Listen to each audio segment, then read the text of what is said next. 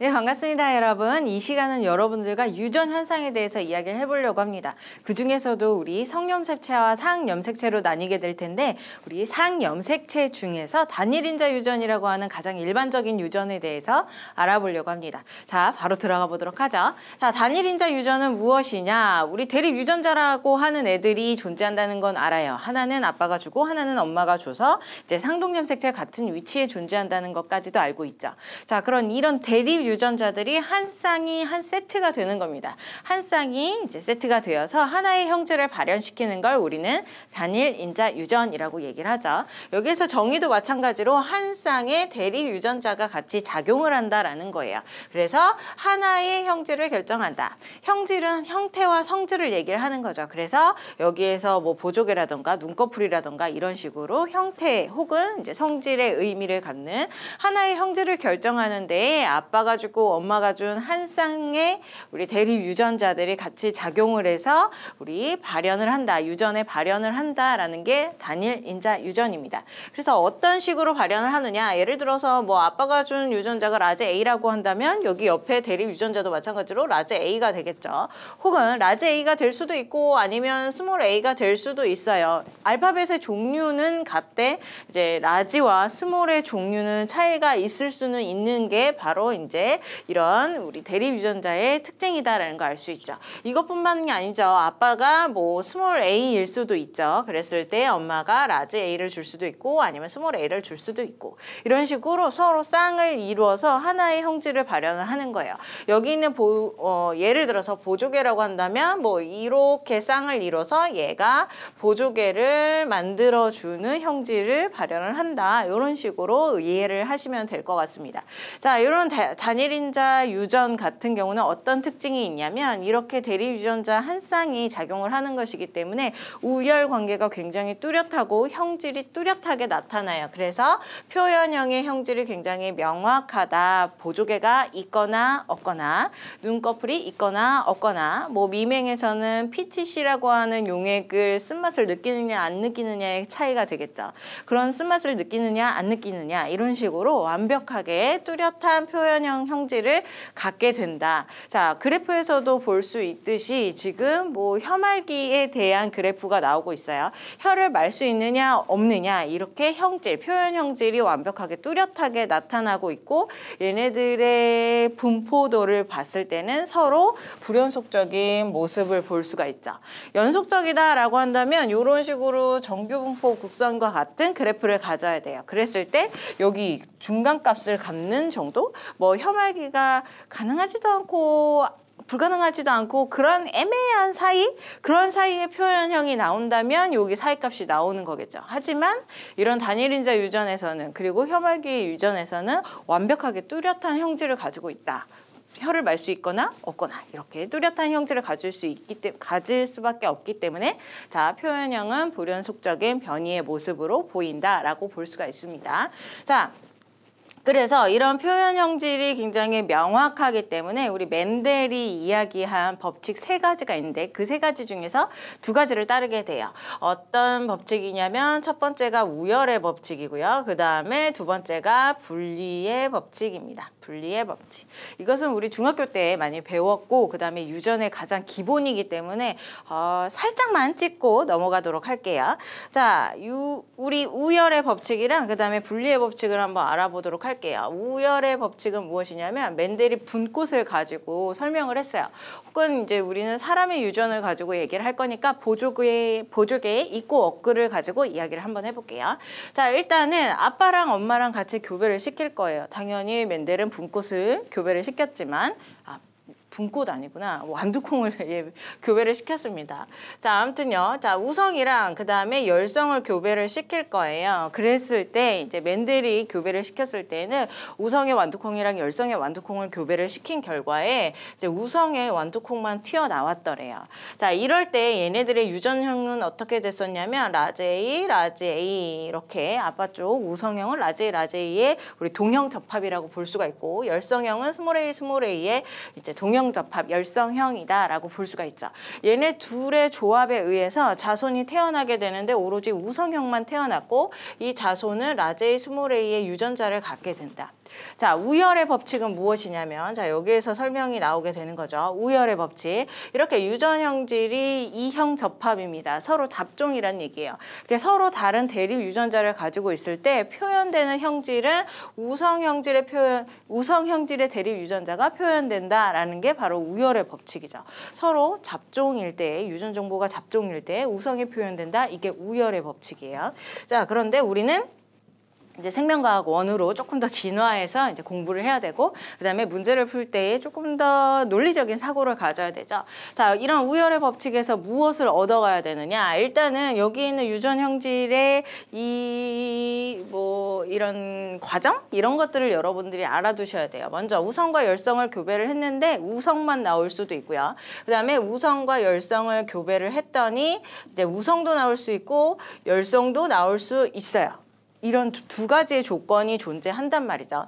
아래쪽의 조건 같은 경우는 우성이 large A small A로 잡종일 때의 이야기예요. 열성형은 어차피 이렇게 동형 접합밖에 존재할 수밖에 없기 때문에 이제 우성형이 동형 접합이냐 이형 접합이냐 이 차이에 따라서 이제 자손형이 우성이 나올 수 있느냐 열성이 우성과 열성이 같이 나올 수 있느냐 아니면 우성만 나올 수 있느냐 이렇게 나눠질 수밖에 없게 되는 거죠. 자 여기 있는 자손의 우성형질은 라제이 라제이 라제이나 혹은 어이구 large A large A 안 되죠. 어, 두 개. 자, 라제이 라제이 스몰 a가 만들어질 수가 있고요. 그 다음에 열성형은 small A, small A 이렇게 만들어질 수가 있겠죠. 자, 두 가지의 조건을 확인을 하시고 기억을 하시고 우성과 열성을 교배를 했을 때 아, 우성만 나올 수도 있고 열성만 우성과 열성이 둘 다 나올 수 있겠구나. 그러면 자, 우성만 나왔을 때는 여기 우성 형질, 부모 세대의 우성 형질이 아, 동형 접합이고 그다음에 우성과 열성이 같이 나왔을 때에는 아, 여기에 부모 세대의 우성 형질이 이형 접합이구나. 요렇게 기억을 하고 계셔야 됩니다. 자, 이게 우열의 법칙이었고요. 우열의 법칙은 여기 파란색 표현한 거 여기였고요. 그 다음에 분리의 법칙을 이야기를 해볼게요. 이제 완두콩을 가지고 또 맨델이 실험을 했었는데 자 우성형이랑 그 다음에 우성형을 같이 교배를 시켰어요. 이것을 자가 교배라고 해서 이제 완두콩에 동일한 애들을 같이 교배를 시킨 거죠. 그랬을 때 얘네들의 유전 형질이 이렇게 이형 접합인 걸 알고 있었어요. 이렇게. 자 이런 이형 접합의 우성형들이 같이 교배를 했을 때 어떤 형질이 나오게 됐냐면 우성형도 나오고 그 다음에 열성형질도 나왔었다란 말이죠. 그랬을 때 이제 유전 정보가 large A large A 혹은 두 개의 라제이 스몰 a의 비율로 나올 수가 있고요. 그 다음에 열성형은 small A small A 이렇게 나올 수가 있었습니다. 네 가지 종류가 나왔어요. 라제이 라제이 라제이 스몰 a 라제이 스몰 a 그 다음에 small A small A 이렇게 네 가지 종류가 나왔습니다.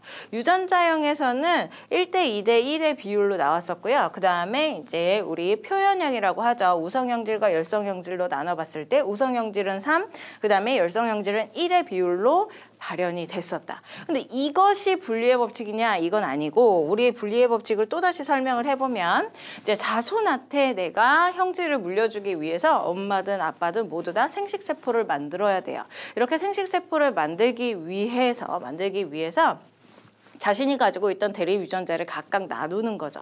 자, 여기에 있던 이제 우성 형질 각각의 대립 유전자가 있을 때에 이때 하나씩 하나씩 각각 다른 생식 세포로 보내준다는 얘기예요. 얘도 마찬가지로 하나씩 하나씩 다른 생식 세포로 보내준다는 거죠. 그래서 각각의 생식 세포가 만들어지고 각각의 유전자가 생식 세포로 만들어지고 이제 얘네들이 서로의 배우자와 함께 교배를 하게 되는 거죠. 자신의 모습, 자신의 생식 세포랑은 같이 같이 교배를 할 수가 없어요. 만약에 여기가 난자라면 난자와 난자가 교배할 수 있는 건 아니라는 얘기예요.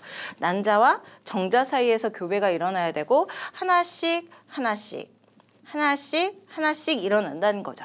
자, 다시 정리해서 분리의 법칙은 무엇이냐면 자손한테 형질을 발현하기 위해서 생식세포를 형성할 때에 자신이 가지고 있던 우리 유전인자라고 하고 혹은 대립 유전자라고 하는 것을 이제 각각 하나씩 분리해서 자손에게 전달한다. 이게 분리의 법칙이에요. 그래서 각각 분리된다. 이게 분리의 법칙.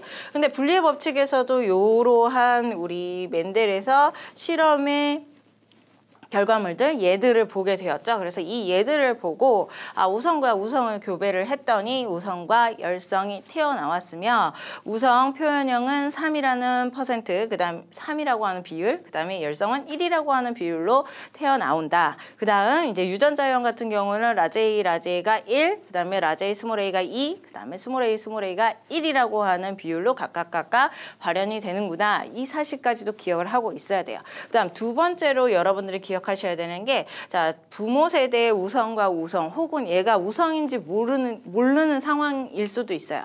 자, 부모 세대의 동일한 형질을 같이 교배를 시켰더니 자손 세대에 전혀 다른 형질이 튀어나왔어. 열성은 우성과 다르게 생겼죠.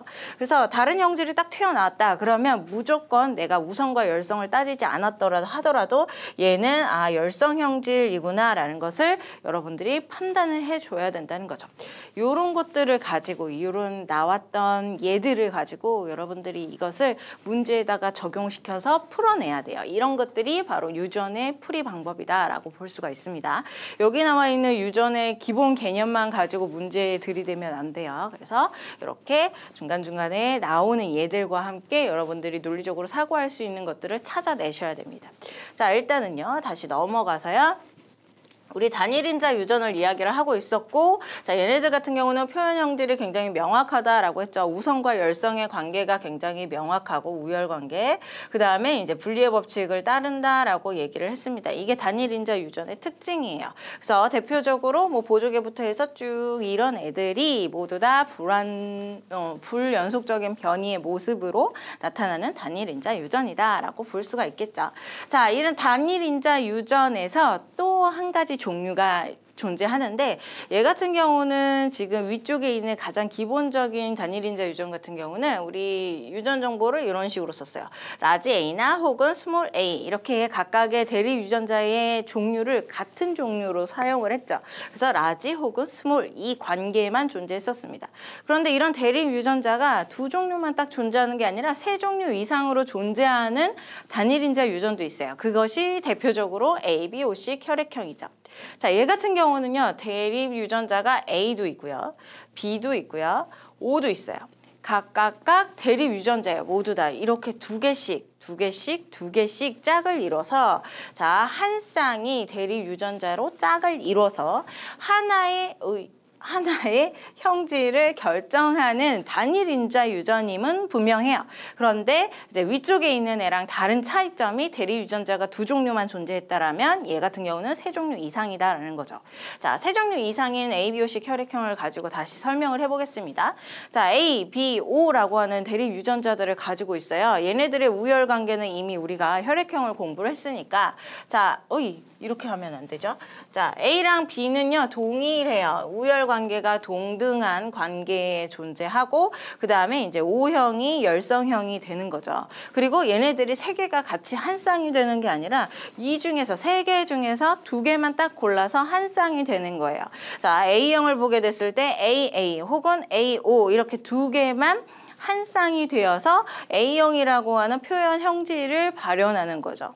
자, B형도 마찬가지예요. BB 혹은 BO가 같이 반응을 해서 A는 빠져버리고 그 다음에 두 개의 대립 유전자가 한 쌍이 되어서 이제 하나의 형질을 발현을 하는 거죠. ABO, AB형도 마찬가지 A와 B 대립 유전자가 같이 반응을 해서 이제 AB형이라고 하는 하나의 형질을 발현하는 거 O형은 O, O가 반응을 해서 이제 O형을 발현하는 것 이렇게 되는 되는 거죠.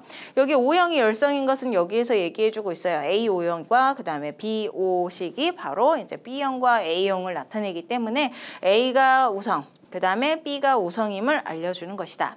그 다음에 A와 B가 동등한 관계인 것을 알려주는 것은 여기 B, AB형에 존재하죠. A와 B가 같이 반응을 했더니 얘네들이 누가 우열 관계가 뚜렷하게 나타나지 않고 그냥 같이 반응을 해서 발현한 모습 A, B형 이렇게 볼 수가 있겠습니다.